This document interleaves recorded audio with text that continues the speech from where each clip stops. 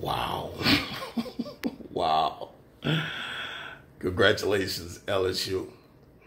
We are national champions. champions. What an amazing football team. What an amazing team. What amazing coaching staff. Congratulations, Coach O. You a a from I was your day one supporter. I said if we give Coach O this job, we will win a national championship. I said it because I'm the football prophet. I said give Coach O this job. We're gonna win a national championship because he's gonna he's gonna lock up this state and help us retain these players that are getting out of here. I said we need Coach O. Coach O will build a national championship team. He did it. He did it.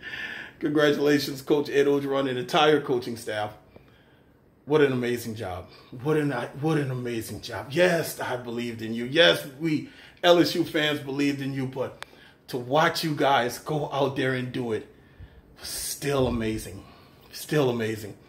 So to the entire football team and to the parents of these amazing student athletes and to the support staff, of this football team and the entire Tiger Stadium staff and every LSU fan around the country.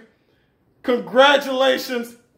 Thank you for reestablishing LSU football where it should always be at the top of college football.